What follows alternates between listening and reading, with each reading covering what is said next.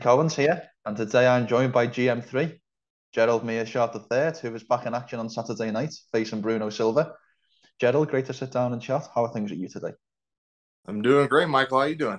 I'm very well, thank you for thank you for the re reciprocal nature of your of your um, politeness. Um, a lot, a lot of fighters don't, so it's very nice of you. Um, first and foremost, we're back in back in action on Saturday night. Bruno Silva. I'll I'll get straight down to the nitty gritty. Uh, what does your opponent do well, and what do you think you do better than your opponent?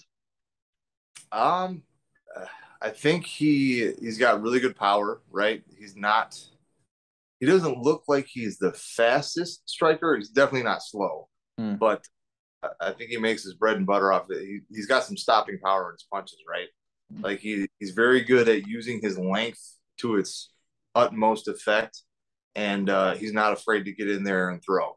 And I think um, you know, if you looked on paper, I guess you could say he might have a little more stopping power or knockout power in his punches, and I'm, I'm probably a little bit slicker with submissions just because like he has a lot of knockouts. I have a lot of submissions, but we we both have done both, right? Mm-hmm. I I have a body kick knockout in the UFC.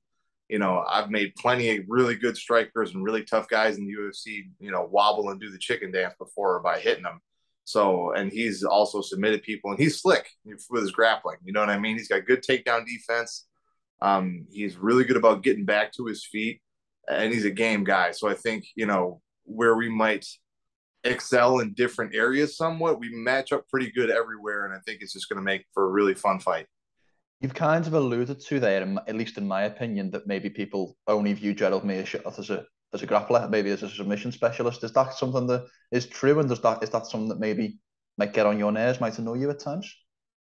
No, it doesn't really annoy me, but I think people look at statistics a lot and they mm. kind of ignore what has led to those submissions.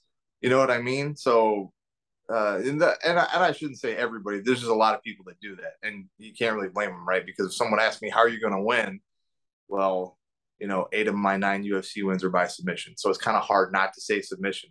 Mm-hmm. And in that sense, yes, I am a submission specialist. But the way I get there is I hurt people with the stand up. You know what I mean? Uh, I went up against a lot of guys who were undefeated, up and coming, striking specialists, all this stuff.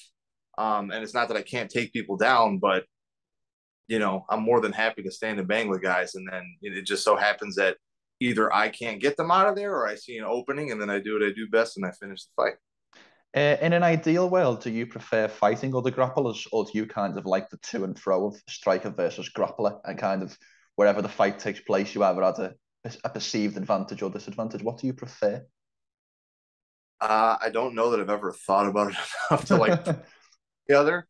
You know what I mean? Um, yeah, I mean, the, both can be dangerous, right? Because you go against a really good striker, there's a you got to close the gap. Even if they have zero grappling, you still got to close the gap. You're still in danger of getting knocked out or beat up. Uh, but if you go against a grappler and that's what you want to do, um, and you both are good at grappling, you get a lot of exciting fights that way too. Because you don't, again, we wear four ounce gloves. You don't have to be a quote unquote good striker or powerful to knock somebody out. So like, there's always danger. But yeah, I don't know that I have a a preference over one or the other. Okay, no problem.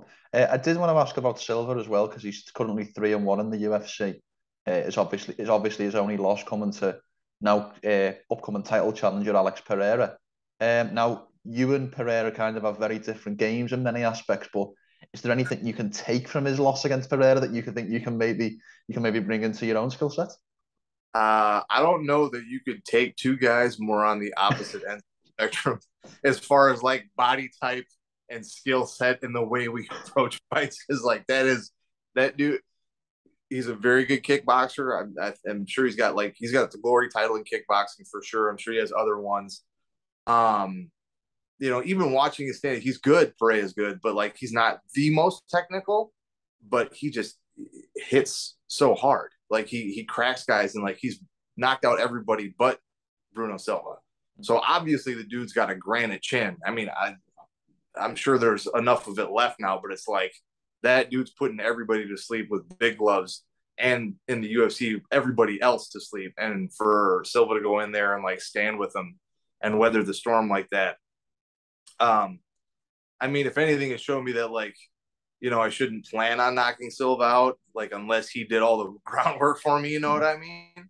But uh, you know, the longer you get to see someone fight, you learn some things. But I don't think there's anything that Pereira did specifically that I would be able to do, eh, like at all. Not not just because we have different fight styles, but he like his frame and length are just so different from how I fight. It's yeah, there's nothing for me there.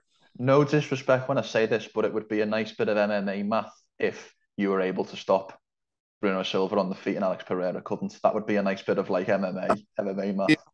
That would be yeah, that would be interesting. I I feel like if that happened, I would still be like, I'm pretty sure he did most of the work for me, but like I'll take.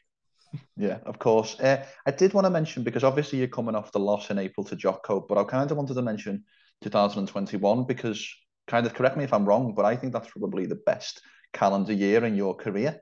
Um, first, first of all, do you agree with that? And second of all, kind of what what factors came into play to make that such a successful year for you, despite the know the performances? Um, uh, I, I, would have to say it's my most successful year, right? Because I went undefeated uh, for three fights in you know arguably the toughest organization in the world. Mm-hmm. Um, I mean, there are years I've fought more and won more, but going three and zero oh in the UFC is no small feat. And, and in doing that, I set a record in the middleweight division for submissions too. So that was like two nice little feathers in the cap. Um, but a lot of that was like, I, you know, I'm still hungry, but I was very hungry then, especially I was coming off two, you know, really bad losses. Um, I had to take some time, like really just kind of focus on myself and not not worry about anything else, just being as good as I could be. Like, don't worry about what your opponent does. Don't train for a specific style of fight. Just take the tools you have and you know sharpen the axe, so to speak, mm-hmm. and then kind of like figure it out from there. Because at this point, you know, I'll add, I'll probably still add some new little wrinkles to my game, and there's even stuff that you know I can do in the gym that I'm very comfortable with that I haven't shown in fights yet. Mm. You know what I mean? But at this point, I'm pretty much the fighter that I'm going to be. It's just making sure everything's sharp, my reactions are on, and that I'm I'm in good shape and like comfortable mentally and physically to like show everything that I have to offer. So I think that makes a big difference. And then, you know, had a little bit of a hiccup with the last fight, but I've made some changes, and uh, I think I'm ready to show the best version of myself that you know anybody's ever seen. I actually, uh, in, at the end of 2021, I made a post on my Instagram of kind of 10 alternate fighters of the year. So maybe guys who perhaps never got the credit for the for the year that they had. I can remember Sergio Pettis, for example, was on that list. Uh, but your name was kind of Ricky Simone was on there as well. But your name was was on there kind of at the end of it, and I don't think people kind of appreciated the year that you had in terms of the calendar year. Um, do you think you? I mean, maybe maybe you might say you don't you don't necessarily get the respect you deserve, but do you feel like you got the respect that you deserve for that actual calendar year and kind of how you turn that around, as you mentioned with the the back to back losses prior? Um, uh, actually, I I think I did. You know what I mean? I I understand what you're saying too, right? Because I'm not I'm not not popular. You know what I mean? Like I got a pretty decent following. I feel like, especially for people that are more like the hardcore fans, because mm. I have so many fights and I've been around for a while. But um, you know, and there were some other people that they did really recognize it, and I got praised for it. Right? Like uh, I talked to Jon Anik and Kenny Florian about some of the year I was having, and heard him, you know, talk about it before, and like uh, Aaron Bronsteter and James Lynch, I'm pretty sure mentioned it, in like uh, you know, some different people definitely you know, if you follow closely kind of the MMA and MMA media sphere, uh, I felt like I got more love than I usually get for stuff like that. And like people were bringing stuff up like that, mm-hmm. definitely. Um, but I'm not like, you know, I'm to this point, I haven't had any notoriety or anything like that of somebody who's like a kind of like a star, which is fine. You know what I mean? Not everybody can get that. And I'm, uh, I don't know. I guess I'm, I'm not, I don't have a perfect record. Uh, I'm not I'm I'm in good shape, but I don't look like crazy. You know what I mean? Like mm. USADA test me that often because they're like, ah, he's fine. You know, like I don't look like I'm yoked out of my mind. So I'm I'm just kind of. It's funny. Like a lot of people like me because they're like, yeah, he's a regular guy. But mm. that being that, like that doesn't put me uh, to that next extra step until you know I start making myself undeniable and beating everybody, and they're like, oh, we should, you know, you can actually be a normal person and do this. You don't have to be like some extra crazy person or like have some whatever, you know, put it out there. And another thing that doesn't help me either uh, is that like I'm just an American and like we don't back our own mm. at all unless you're winning everything. you guys are lucky because if you come from literally anywhere else in the world and you like fly that flag, your people will ride for you. In America, they're like, "Oh yeah, you lost, you suck. Don't don't come back. We don't want to talk to you."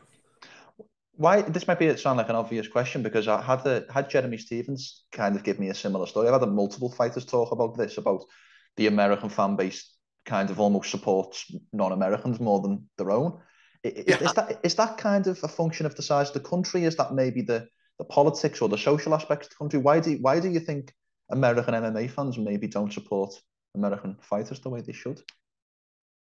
I know that's uh, a very I know it's a very difficult question to ask off the spot, but I don't know. I I think that it's probably a lot of things. I think one thing would be definitely uh oversaturation of the market, so to speak. Like most you know, even in the UFC, most guys, it's US or American rather based company. So mm. most from here.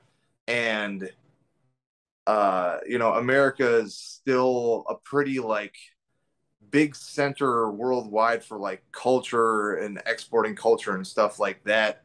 And uh, you know, nobody wants to like root on the big kid on the block. So it's like if you come from the US we have a lot of opportunities and things that maybe other people don't have.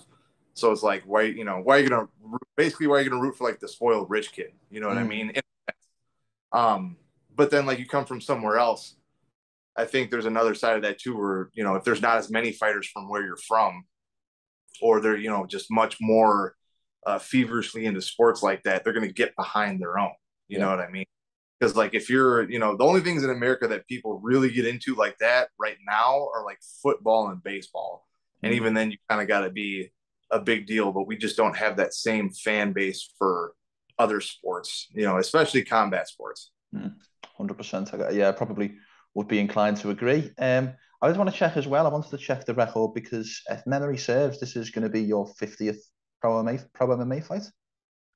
Yeah no I've, i i definitely have some that aren't on my record, and I can't, man, I can't even remember now. I feel like maybe some got added on after they weren't there for a while, uh, but I feel like I had maybe four or five that fights that I've had that weren't listed before. So, you know, for sure, this is like quote unquote the fiftieth, but I've probably had more than fifty at this point. Well, for the sake of my question, let's pretend you've had fifty.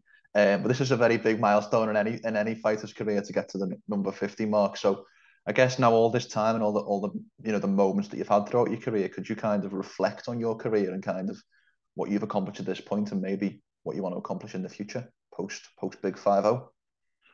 Uh, I mean, I can't briefly, but you know, right now I feel like I still got four or five good years in me, so I'm not, you know, until maybe after fights, you know, you kind of stop and smell the roses, so to speak, for a quick second. But uh, when I when I leave the gloves in the octagon, then I'll probably have a better answer for that question. Fair enough. I did want to ask about this, and I kind of want to frame this question with the utmost respect. Um, what what at this point in your career, what kind of is the essential goal? And and what I mean by that is, is, is the ultimate goal still the world title fight, the world, the world title, or is it more, you know, other maybe uh, accomplishments in terms of places to fight, records to break? What kind of are the essential goals for you in your left in your career? Uh, well, I mean, if anyone says anything different, they're lying. But first and foremost is to make enough money to like support me and my family well after fighting. You know what I mean? Like title and all this other stuff. Like that's BS. The first thing is making as much money as you can. Uh, the second is like, yeah, I still I still would like to hold UFC gold. You know what I mean? I'm not in any position, obviously, right now to do that. Um, if you look at my record overall and my UFC record, not too many guys have had like uh, you know a up and down road like that and gone on to get it. But I still think I can do it. Um, if it comes to the point that it's just not attainable in the time I have, then I'm gonna you know try to extend uh, you know, the submission record that I do have if I can and just have the most exciting and memorable fights possible. You know what I mean? And just mm. continue to to make a name for myself. But you know, I really would like myself in position to get, you know, at least get a shot at the title. You know what I mean? Yeah, hundred uh. I'd like to fin- finish very quickly by talking about an upcoming fight featuring one of your uh, previous opponents. Um, Chimaev versus Diaz. Gerald, obviously you fought one of those guys. Uh, it never went your way, but um, what do you expect from that upcoming bout? What do you expect to see happen at UFC yeah. 279?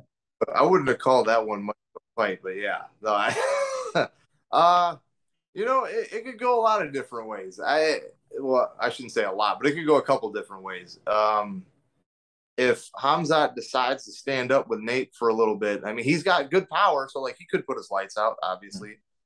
But Diaz is tough, and if you let him hang around enough, especially if it ends up being a five round fight, uh, you're kind of playing with fire. Um, but that being said, it, you know, if he's smart, I, I would think if he listens to his coaches, follows his game plan, especially because on the last fight, he had said in, uh, or I had seen that he had said in interviews that he didn't listen to his coaches that well, or he felt he hadn't, rather. So if that was the case, the last one, I would I would think, and I could be wrong, but I would think he would try to make it a point to follow whatever they have laid out for him a little bit closer. And to me, that would be strike enough to find an opening and get a takedown and then get to that, you know, get him to a turtle position because Diaz can play guard pretty well still. Not that I think that would be a great idea, but if Hamza can like put some hands on him, get a takedown and get to the back and either to that wrestle ride position or just take the back you know, I think he could make it a pretty easy night for himself.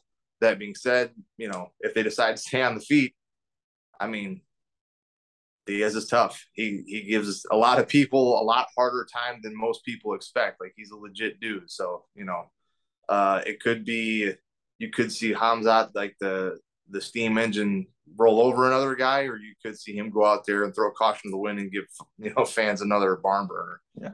100%. Uh, I've got one final question for you, Gerald, and this is kind of off the cuff and it's not MMA related, but I've never kind of noticed this prior to jumping on with you today, but we kind of have a little bit of a similar look. I don't know if you uh, agree or disagree. We've got, got a little bit of ginger in our beard, perhaps a little bit of strawberry blonde. We've both got the blue eyes. Um, do you have any ancestral roots in Liverpool? Perhaps you know maybe we have we have family ties. What what do you think?